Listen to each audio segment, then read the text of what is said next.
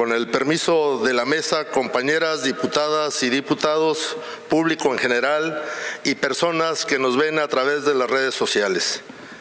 La transformación en nuestro país y en el Estado son palpables para todas las personas y las instituciones.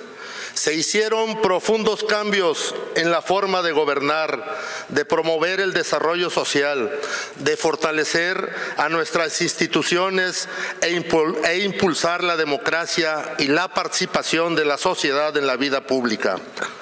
La iniciativa presentada es, otro punto de evolución para el Poder Legislativo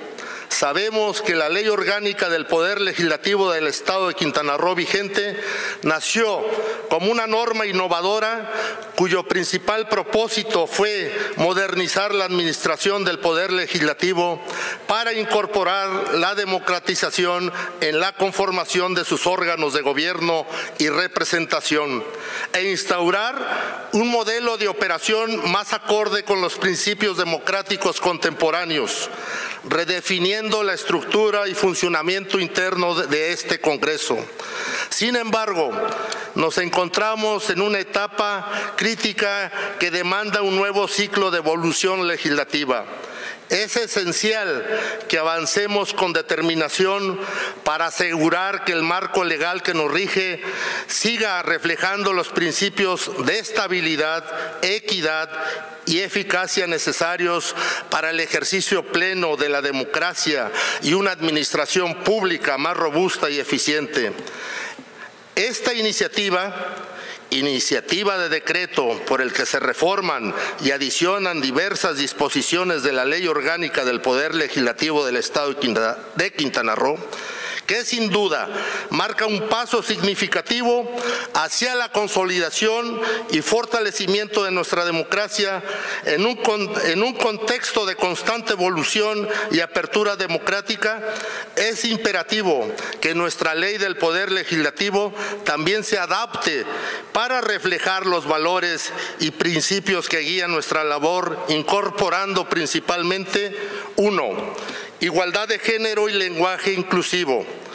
para avanzar en la construcción de una sociedad verdadera, inclusiva y equitativa, la reforma propuesta busca adecuar a nuestra legislación para reconocer de manera efectiva a las mujeres en los puestos de poder dentro del poder legislativo y a otras autoridades externas, implementando un lenguaje neutral e inclusivo, no solo eliminando el lenguaje sexista, sino que garantizando que cada mujer en todos los niveles de la administración sea visiblemente reconocida.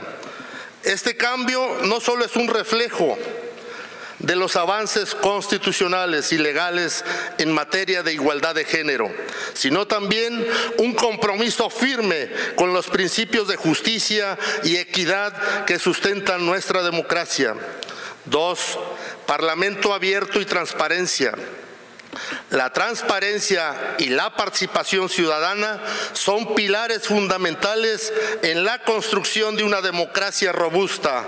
por ello, se propone integrar prácticas de parlamento abierto en nuestra ley orgánica.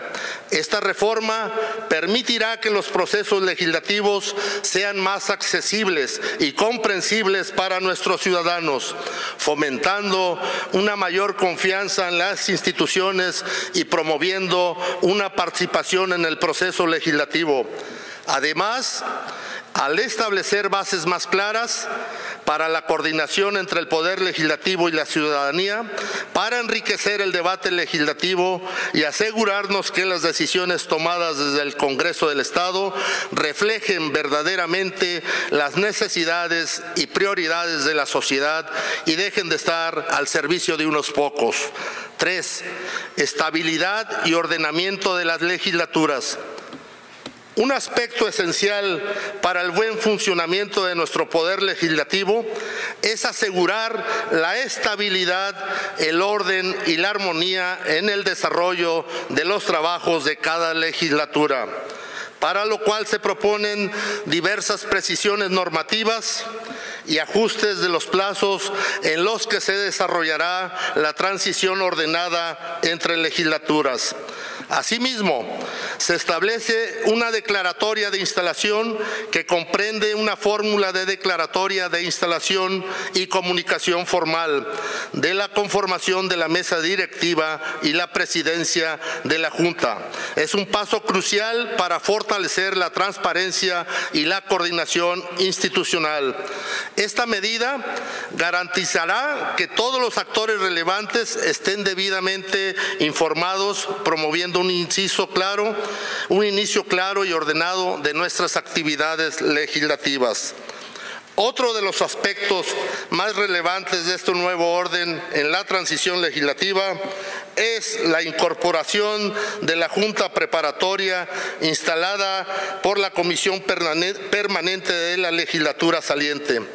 Esta Junta Preparatoria simplificará el proceso de instalación de una nueva legislatura y asegurará que la conformación de los, grupos legislativos se realicen con precisión y en conformidad con las disposiciones constitucionales, facilitando una transición más ordenada y efectiva. Fortalecimiento de la Junta de Gobierno y Coordinación Política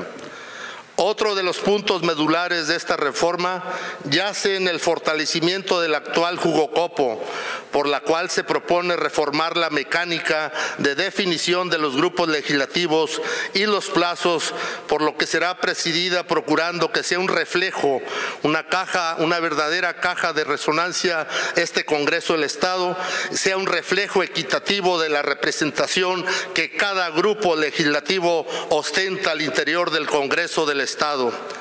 que es un reflejo mismo de la, de la, voluntad y los intereses que nuestra sociedad quintanarruense han depositado en las urnas. Y es, por tanto, el, el aseguramiento del Estado democrático y un verdadero reflejo de los principios de justicia y equidad que nuestra sociedad merece.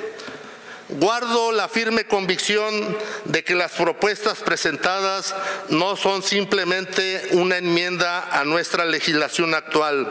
sino una oportunidad significativa para reforzar el entramado de nuestras instituciones y garantizar que el Poder Legislativo opere con mayor eficacia y equidad.